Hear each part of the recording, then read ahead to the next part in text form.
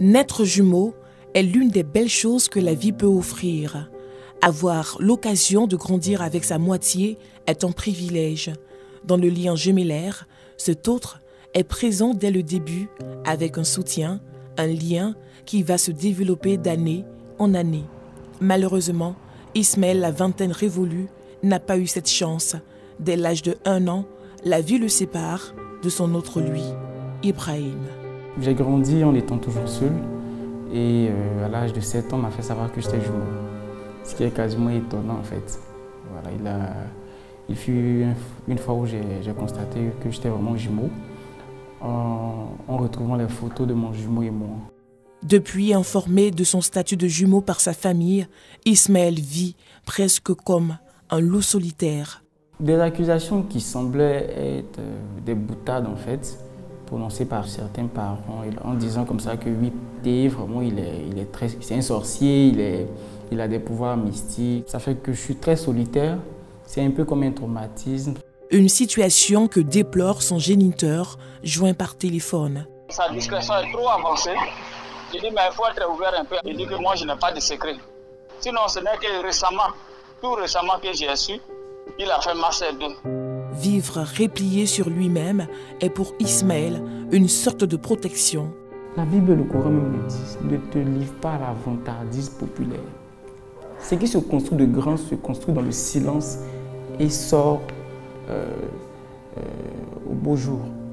Contrairement à Ismaël, David a connu son frère jumeau, Émile. Tous deux ont eu la possibilité de vivre des moments gravés dans son cœur. On a fait pratiquement toute notre enfance ensemble, je dis pratiquement parce qu'à l'âge de 20-22 ans, on a dû être contraint de se séparer.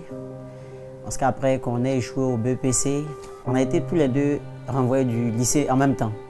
Mais le 15 février 2018, sur l'axe Yamoussoukro-Toumoudi, survint un drame. Ça a été le jour le plus euh, terrible de ma vie. Parce que j'étais allé retirer son costume de mariage. Le costume même est encore là. Il est décédé le jeudi alors que son mariage était pour le samedi. Émile n'était pas seul lors de l'accident. Avec lui, sa marraine et les enfants de cette dernière. Je savais qu'il avait eu l'accident, mais je ne savais pas au juste à quelle ampleur. Nous sommes rentrés en contact avec euh, d'autres témoins de la scène et on a compris que on avait pratiquement perdu toute la famille. Parce qu'il avait ma grande sœur, ses deux enfants, ma petite sœur et la servante avec euh, mon jumeau. David garde encore précieusement certains souvenirs. On a même la photo de, des funérailles d'Émile qui est présente. Voilà, elle est juste en bas de la photo de mariage.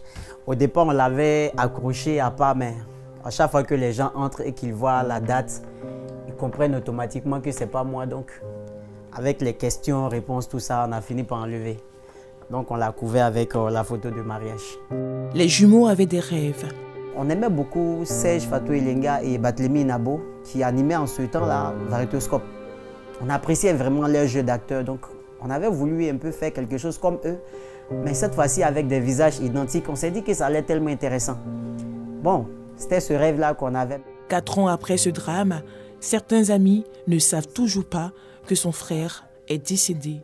C'est un de ses amis qui m'identifie à lui, qui me confond au fait. Quand je suis pressé, je joue le jeu. Voilà. Il dit oui, ça va Joe, c'est vrai, il y a longtemps, même si j'ai jamais vu la personne. Et quand j'ai le temps, je dis à la personne non, et je suis son frère. Qu'en réalité, Emile, euh, il, est, il est décédé. Pour certaines personnes, ce départ brusque relève du mysticisme. Les gens ont dit que sûrement les esprits ne voulaient pas.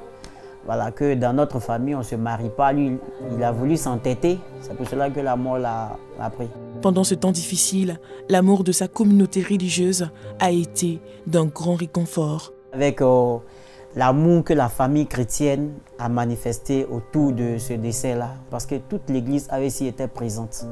Donc ça, c'est la chose la plus positive qu'on a eue dans cette affaire de décès-là. Oublier son autre moitié et sa marraine est chose impossible pour David. À chaque fois que je vois ma photo, c'est lui que je vois. Et même souvent, souvent avec mon épouse, quand je pose certaines actions, elle me dit, si Chebani était là, tu n'allais pas faire ça. Parce qu'effectivement, c'est la seule qui pouvait m'empêcher de faire quelque chose, des, des bêtises. David et Ismaël, désormais seuls, s'adressent aux jumeaux qui ont comme eux perdu leur moitié et ceux qui ont encore la chance d'avoir avec eux leurs jumeaux. Je souhaiterais dire à toutes ces personnes qui ont perdu leurs jumeaux de, de ne pas baisser les bras. Parfois, ça, ça crée des troubles. Ça fait que vous êtes vraiment retranché sur vous, mais de s'ouvrir au monde. Pour ceux qui sont là aujourd'hui avec euh, leurs jumeaux, je peux simplement leur dire de manifester l'un envers l'autre le maximum d'amour possible. Le maximum d'amour possible parce que quand un va s'en aller, vous n'aurez plus l'occasion de le faire.